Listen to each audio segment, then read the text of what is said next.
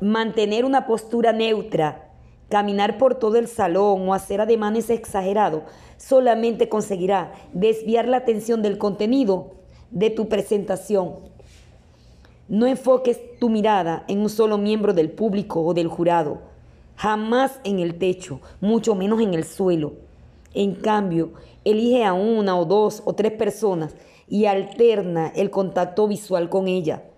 Yo preferiría que sea con el presidente del jurado, demostrando que no te intimidan porque el conocimiento es libre y te pertenece a ti sobre tu, tu investigación.